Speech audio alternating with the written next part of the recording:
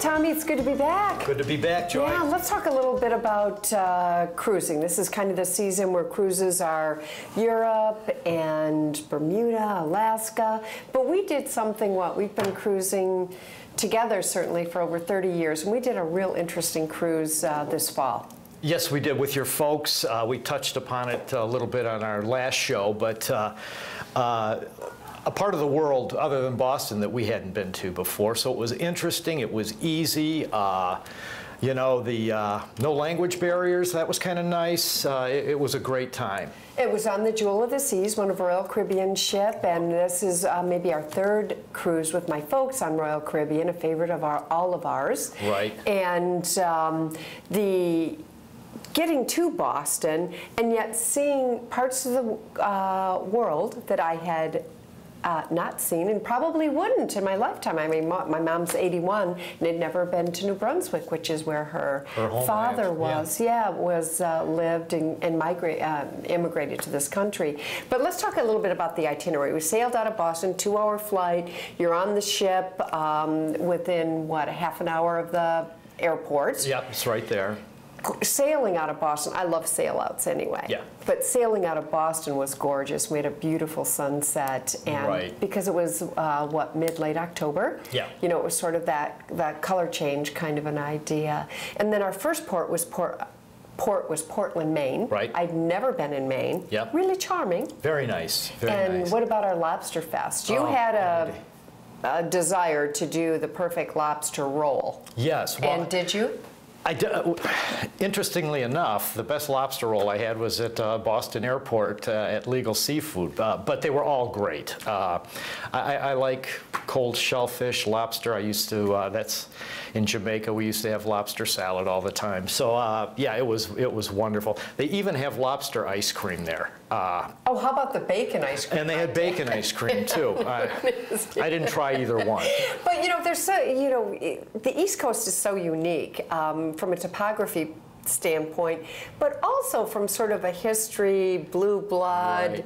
you know, um, Martha Stewart, uh, Roosevelt, Rockefellers, Rockefeller. Yeah, family. a lot of old money in, in Bar Harbor. And then when you get to Bar Harbor and you go to Acadia National Park, and I think the line was, it should, it's not illegal not to go to Acadia National Park, but it should be. Yeah. And that, I've done a lot of stunning scenery, but I thought that was a gorgeous day. Beautiful, beautiful day. Yeah, the leaves were changing. Uh, and a lot of different topography. Went to the top of the mountain and then down by the ocean. It was beautiful. Yeah, so I'd highly recommend that.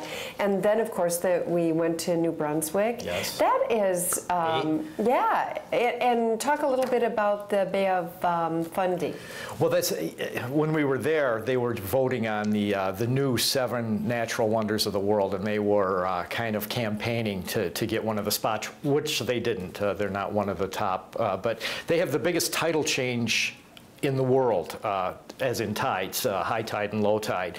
And the river that runs into the bay actually reverses itself when, when the tide comes up. So it's, uh, it's kind of unique, uh, and, uh, but unfortunately it, not one of the seven natural wonders no, of the world. No, but one of the spots we had been to in the last couple of years got uh, the award. Yeah, well, Iguazu Falls in Argentina was, yeah. and I can I understand why they got it. That's just a real special experience. It is. I mean, that's a trip. I'd like to spend more time in Argentina. Yeah. Oh, yeah. Yeah. We, so, and then we went, of course, and Nova Scotia was a lot more interesting than all of us expected. I mean, of course, we knew about the Titanic, and why don't you right. touch a little bit about that? Well, they, uh, that's where they brought all of the dead. Uh, it was uh, into Halifax, and uh, so not everyone had the means to, to get the remains back to England or, or wherever uh, the, these people were, were from. So those that, you know, didn't leave Halifax are now in the uh, Fairview Hill uh, Cemetery. Um, uh, in, in, Halifax, and there, well, there's actually. Remember our guide with his kilt, and he knew oh, every story about every family. I mean, really, I mean, we were all choked up, and yeah. and seeing, as you said, Tom, how many? Um, there are hundred. There's actually three cemeteries in Halifax that have bodies, and the Fairview one is the one uh, that has um, the most, 150. So yet all these gravestones, all with the same date. No, it was really. Uh, yeah, it was uh, more uh, emotional than I expected. Yeah. But and the guide knew all these little stories about and talk about our Titanic journey. well, this is the 100th anniversary uh, of the Titanic disaster this year. And uh, like I said, we've kind of, uh, we were in Cobh, Ireland, which was the last uh, port that they left from before the disaster. And then when we did our Q, uh, QE2 trip transatlantically, we sailed right over the exact spot uh, that it went down. And then now, having been to Halifax, we kind of saw the, the end of the whole thing. Yeah, it was, I mean, nothing that we set out to do. It's just, you know, you talk about feeling blessed with the opportunities we've had to travel, and then you realize how much of the, the world and world history you've had a chance Well, to Well, it really experience. brings these things to life when, Yeah. you, when you see them and experience them. And talk about special things and spiritual things. Let's um, sign out and then come back and talk about Hawaii. I'm, I love to talk about Aloha. Aloha. So we'll be back right after this. Nestled in between Holden Reid and Dress Barn at Lansing's Frandor Shopping Center is a place where you can find good food, interesting people, and mainly live entertainment. The Mid Michigan Family Theater is a fantastic place to visit, whether you're just looking for something different to do or maybe in town for a few days. It looks like one of the upcoming plays is The Tale of Snow White, but why don't we head inside and see what they're rehearsing at the moment? Mind telling me where you were when he met his maker? Well, I was uh, I was in the the back with um, Dolores. Isn't that right, Dolores? Huh? Yeah, yeah, up back in the in the back. And Drew and Wanda were near. So that The theater is, is a really a family-oriented, kids with some adult participation getting together, but it gives kids that first acting experience, helps build their confidence, things of that nature. Where is Henry? Who cares? The man smells. He never bathes. Tonight's rehearsal is in preparation for Murder Me Always, an intentionally bad performance during which an actual murder takes place off stage. All branches of the mighty oaks that stand tall upon these grounds We have a blast doing it. Uh, murder mysteries tend to be fun. Plus, we have food catered in and the whole works, so it's really a great opportunity for people to, to enjoy and learn more about the theater and help support the kids. The theater's artistic director, Bill Gordon, has a full schedule of shows that takes theatergoers all the way to the end of June. After Murder Me Always on March 9th and 10th, be sure to look for The Tale of Snow White from the 16th of March to the 25th, and Sarah at Sea from June 15th to the 24th. The theater holds true to its slogan, where there's something dramatic for everyone, by offering affordable memberships with specials for volunteers, and also by allowing people of all ages to audition for the majority of their shows. For any questions you might have about the theater, visit mmft.net. I'm Zachary Pena, and I hope to see you at the Mid Michigan Family Theater.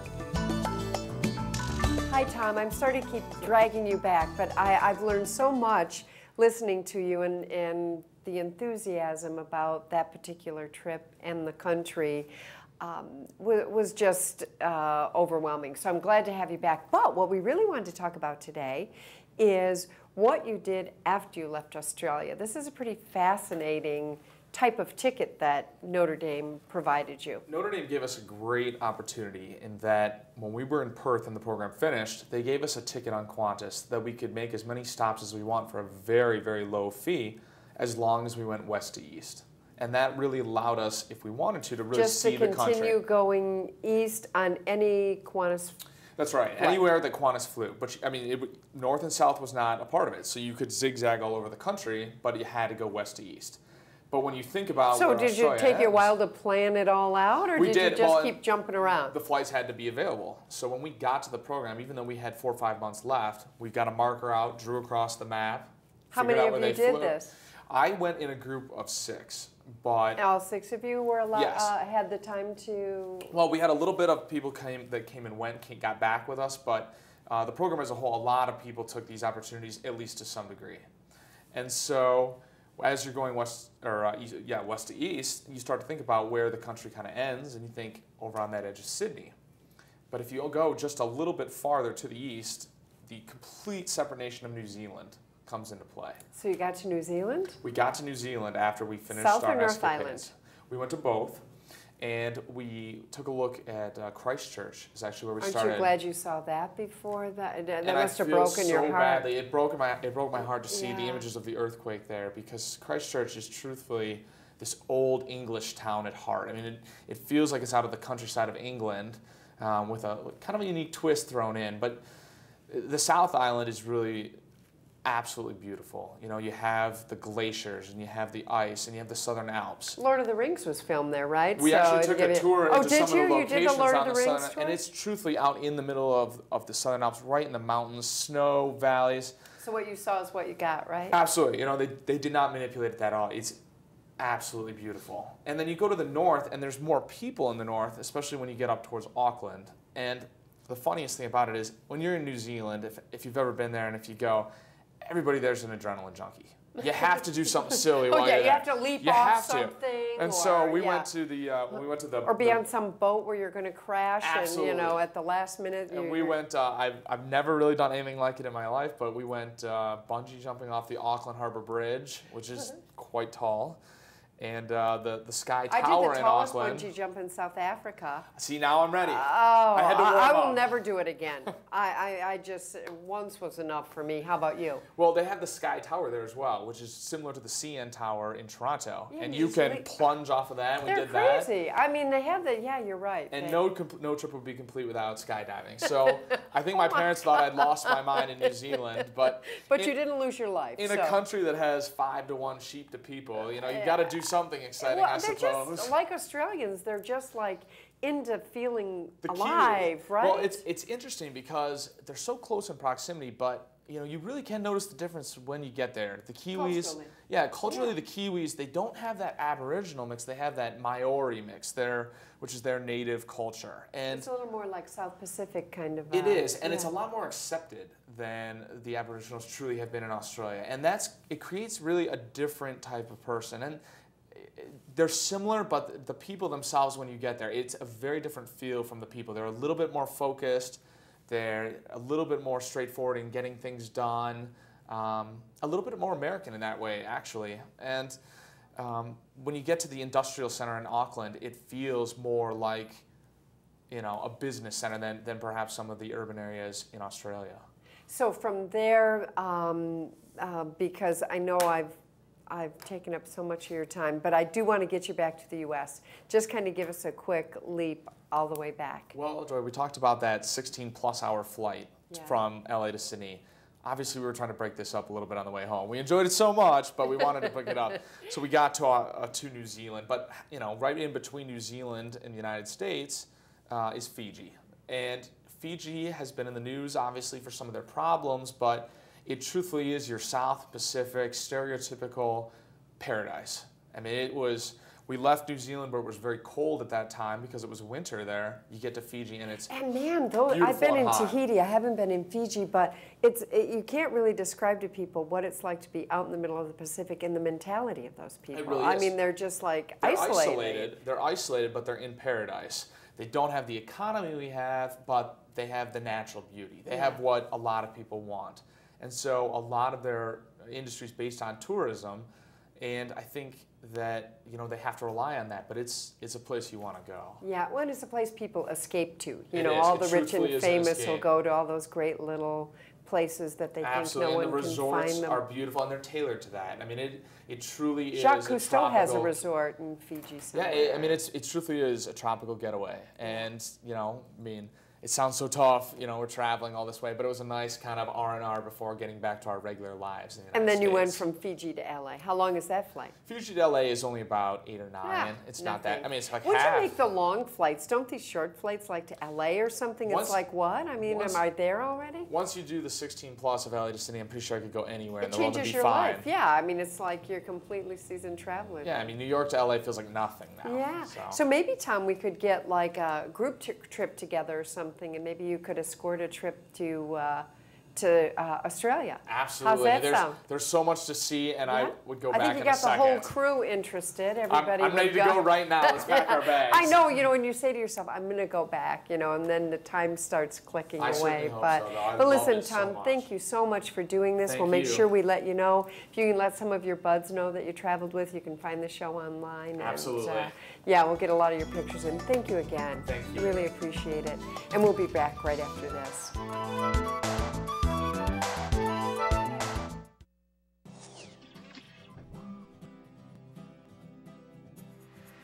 Okay, the blood drive is in a few days.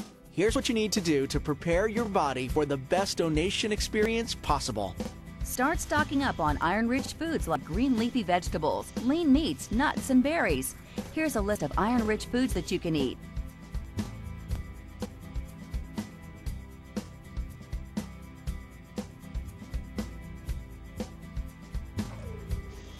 Also, avoid fatty foods a day or so before you plan to donate. Be sure to get a good night's sleep before donation day. Drink plenty of non caffeinated beverages like juice or water before and after you donate. Be sure you eat breakfast and don't forget about lunch if you plan to donate in the afternoon. Thanks for your help with the life saving mission of the American Red Cross. You are a hero.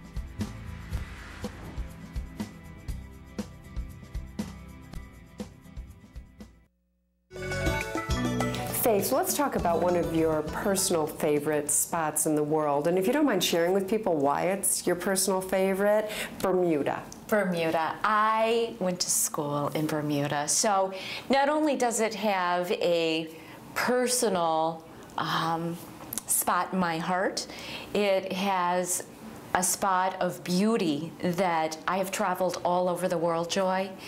And I have yet to find and duplicate the beauty that Bermuda holds. Seriously? Yes. Well, how long were, did, were you there? Was it just one semester, or did you actually live there for a period of time? I lived there for from seventh grade to, to um, well, the 11th grade. And then when I graduated from the 11th grade, came back and stateside graduated from public high school, which was a culture Okay. shock. Yes. Did you stay through the summers, or did you come Stayed back? I mean, how is it that you got to Bermuda? Well, to there was there was um, education was may, very important to my mom, and I didn't do well in the um, um, Traditional.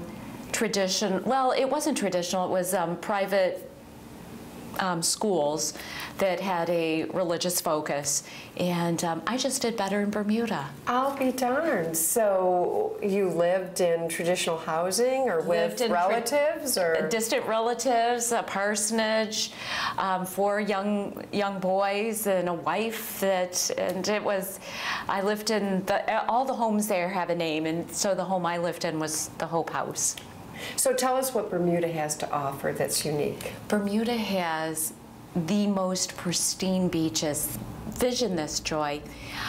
Aqua blue water. You can see 20 feet down all of these gorgeous fish. A pink sand beach with the coral reefs that wrap the entire island. Shell is constantly washing and breaking over the coral reefs. So as it washes onto shore, it becomes a fine pink powder.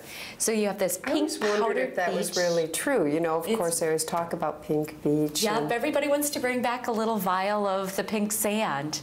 Um, Teddy's Tucker, Teddy Tucker's treasure was discovered off the coast of Bermuda. So there's fabulous diving with shipwrecks and um, treasures to be Still, held. do you still think unearthed treasures? Uh, Oh, on the- absolutely, absolutely. So cruising in, you know, um, I, I think we should speak to the fact that if you decide to go to Bermuda and stay, the season is short in Bermuda because it's further north in the Caribbean. So it's parallel, for instance, to the Carolinas to give Right, people a sense of maybe what the what the weather is like. So therefore, Bermuda is one of the few Caribbean islands that's high season is summer, That's as opposed to winter.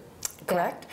Having said that, it's very expensive to go to Bermuda. So cruising, ah, and, yes. and talk about because Bermuda's a unique cruise itinerary because you sail from the East Coast, New York, typically, right? Right. You're using New Jersey. We're using Boston, New Jersey. Okay, so you're sailing for both of those. So you you sail to Bermuda, which gives you, I think, two days at sea. Is that right? Um, a day and a half, if you will, but yes. Oh, that's all. It's it's Because a, I mean, everyone loves that first full day at sea anyway. it really just helps to you get just acclimated. get acclimated, exactly. But, then it stays in Bermuda, so the It's a ship floating is your hotel. Exactly. right? And you come and go. I, I, you know, when I talk to people about cruising to Bermuda, they're like, "I can just get off," and I said, "You can get off anytime you want and get back on and get back off." And where we dock is in Kings Wharf. And it's easy to take the ferry to downtown Hamilton. It's on the south end of the island, so it makes getting out and seeing all of the beauty that Bermuda has. Very and easy. And just to give people a sense of the value, I just booked a property called Pink Beach. Um, and before tax, it's $700 a night. That and and for Bermuda standards, that's a medium priced medium to higher priced property, but it can go up even more.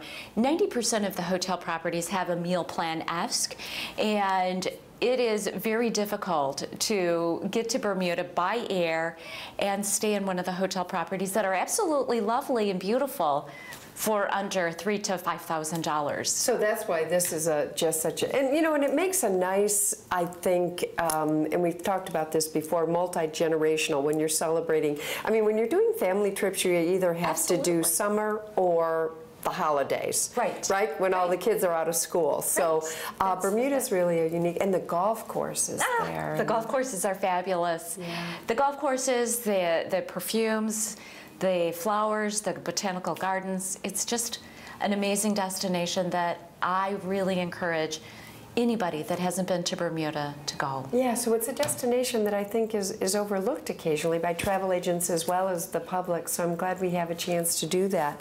So if you don't mind, uh, Faith, we're just going to close with our new tradition, and then if you, I'd like to see if I can talk you into coming back and talking about Alaska. Of course. Okay, great. Okay. Thanks. Hi,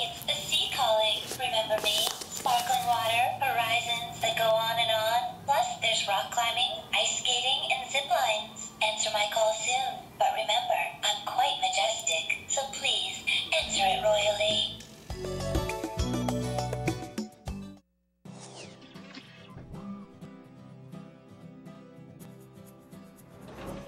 If you haven't donated blood before, or it's been a long time since you have donated, please come out. 97% of us will either need blood or know someone who needs blood in our lifetimes. That's almost all of us. Plus, blood is used for premature infants, patients battling cancer, people with sickle cell anemia, as well as many others.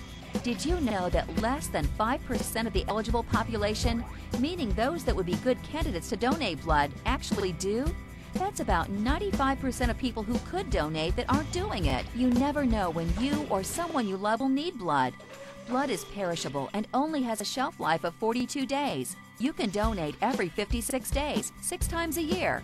Please come out and donate and give the gift of life.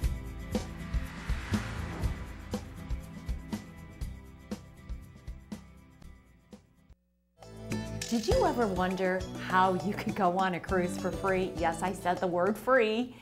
There is an opportunity for you to sail free. And that secret sauce happens when you book a group. A group with Royal Caribbean is eight staterooms or more.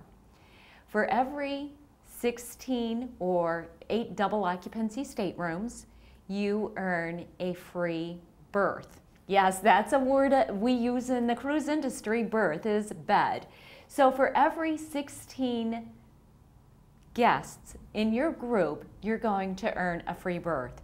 You can use that as a credit back to everybody in the group. You can use it for a charity.